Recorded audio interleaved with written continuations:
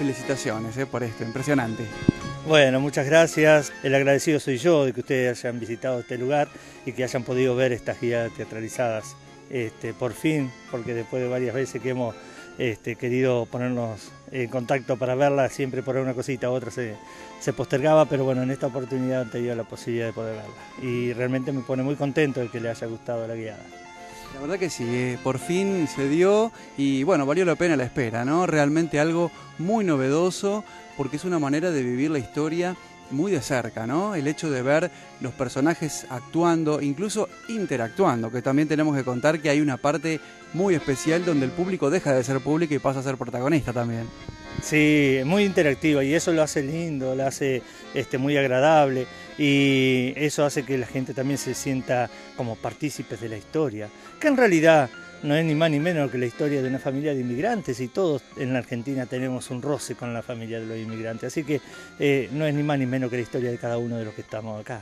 Y eso es lo que lo hace lindo, o sea, todos ven en algún punto de esta historia algo que lo acerca a los abuelos o algo que los abuelos le han contado, o que los mismos padres le han contado, y eso lo hacen muy, este, muy de familia, ¿sí? la gente se siente como que está en su familia.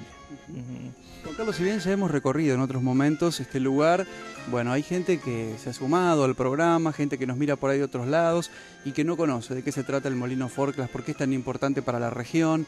Así que bueno, vamos a resumir un poquito esa parte de la historia tan interesante. Como vos decías, es una historia de, gente, de inmigrantes que vino a trabajar, eh, hacer esta América. Pero bueno, de alguna manera esta historia tiene algo en particular, ¿no es cierto? Porque nos ha dejado un testimonio que es todo un símbolo de lo que fue la colonización en Entre Ríos. Sí, realmente es un símbolo del sacrificio, del tesón y del esfuerzo que pusieron los abuelos para construir eh, su, tierra y su América. Acá este lugar eh, tiene mucha historia, mucha historia. Toda la colonia San José tiene mucha historia de inmigración y este lugar fue declarado Monumento Histórico Nacional y luego en el 2003 fue declarado Patrimonio Arquitectónico Histórico de la provincia de Entre Ríos y hace muy poquito, el 2 de julio, se lo declara Museo Provincial de la provincia de Entre Ríos. Esto depende directamente de la Secretaría de Cultura de la provincia, eh, depende directamente del licenciado Romani. Este, y a partir de ahí es que eh, estamos trabajando en conjunto con la parte de cultura y con la parte de turismo, ya que la zona ha crecido mucho eh, en lo que respecta al turismo. Entonces este, estamos trabajando mucho con secretarías de turismo también. A pesar del aspecto impresionante que tiene esto en medio del verde paisaje, eh, tiene algo que realmente llama la atención, sobre todo la gente que no conoce la historia, ¿no? Llegan y ven semejante mole y no logró funcionar como se esperaba, lo que trajo una frustración y bueno, y dio un giro a la historia, ¿no? Que no es una historia más.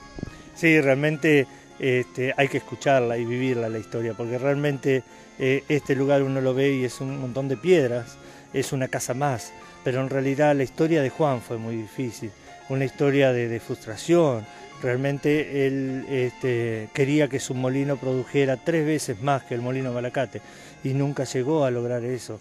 Y eso hace que ese, ese tinte de dramatismo que tuvo la historia de Juan hace que este lugar tenga un encanto muy especial.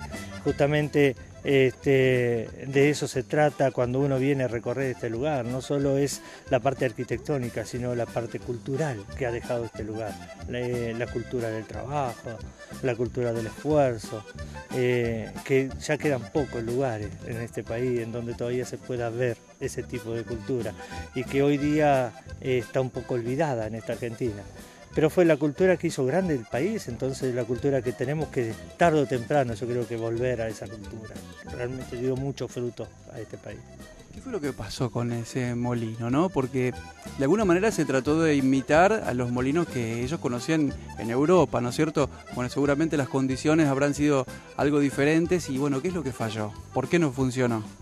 Claro, eh, en realidad el molino fue una copia, y bien dice el hecho, cuando uno se copia, copia mal. Las aspas que estos molinos tienen allá en Europa. Y allá en Europa los promedios de viento son muy elevados, mucho más que lo de esta zona. Entonces ese tipo de aspas acá en esta zona no funcionaron. Eh, Juan debería haber trabajado la parte eólica, pero claro, ¿qué va a trabajar si no tenían conocimientos eólicos?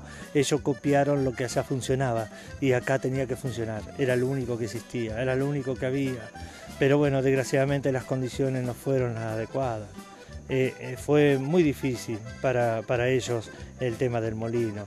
Yo creo que fue uno de los privilegios que tuvo Juanes, que su molino no funcionara como máquina de morienda, sino que permaneciera a través del tiempo y que hoy día fuera un ícono eh, de, no solo de la familia de inmigrantes, sino de la cultura de los inmigrantes.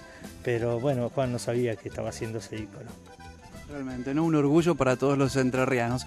Bueno, Juan Carlos, vamos a contar estas visitas teatralizadas, cuándo se dan, cómo puede hacer la gente para informarse acerca de las fechas, porque la verdad es una experiencia, como decíamos, que vale la pena hacerla, porque no es una visita guiada más, es la forma de participar y ver la historia viva, y entonces por supuesto que la recordamos mucho más. No es lo mismo que alguien nos cuente algo que verlo en primer plano con todo el dramatismo que tiene el lugar entre las mismas paredes donde sucedieron los hechos originales. Sí, este, mira, eh, son puntuales las visitas guiadas teatralizadas. Hay programada 11 para el año que viene. Eh, las dos primeras son el 7 y el 21 de enero. Pero lo más este, acertado sería que la gente consultara nuestra página de Facebook. Ahí está continuamente los horarios de las visitas. Es Monumento Nacional Molino Forcla. Este, si no, a través del mail se pueden comunicar con la asociación molinoforcla.gmail.com eh, y también está la página de internet www.molinoforcla.com.ar.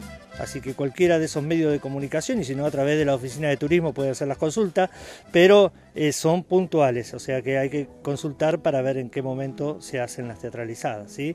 Por lo pronto te puedo asegurar el 7 y el 21 de enero como fecha ya confirmada de que va a haber teatralizada en el verano.